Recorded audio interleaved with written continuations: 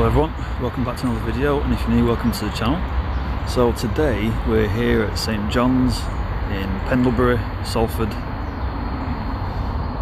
where we're going to be visiting the grave of a Busby babe, Geoffrey Bent. Right, so Geoff Bent was an English footballer who played as a fullback He's one of the eight Man United players who lost their lives in the Munich air disaster in 1958. He joined United as an apprentice after leaving school in 1948, playing in the reserve and youth teams for a few seasons, and became a professional in 1951. He made his first team debut in the 1954-55 season, but never had a regular place in the first team.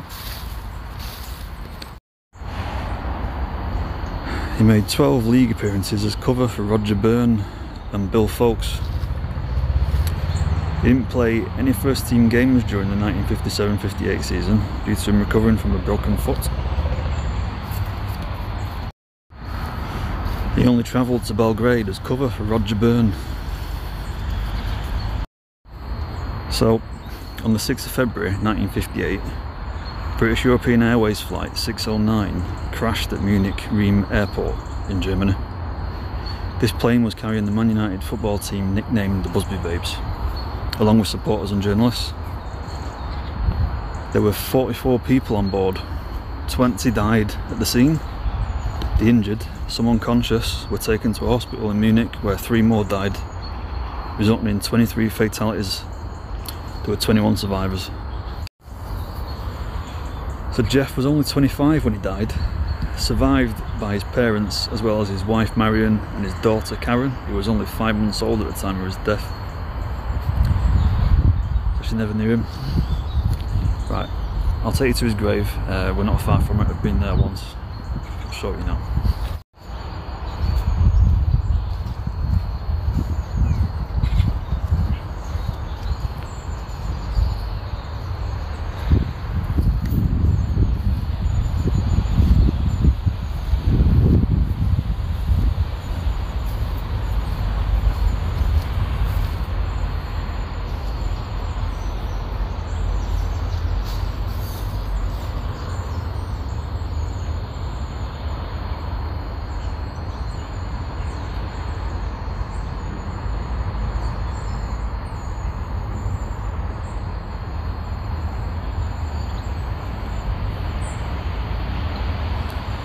So that says Bent in treasured memory of Geoff, the beloved husband of Marion and dear daddy of Karen, who died in the aircraft disaster at Munich February 6, 1958 in his 26th year. What a really nice headstone that is. Old Manchester United scars.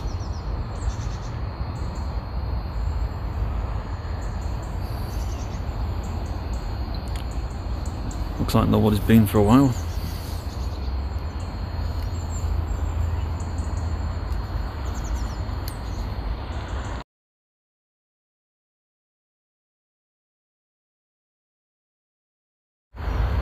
Right, that's it for today.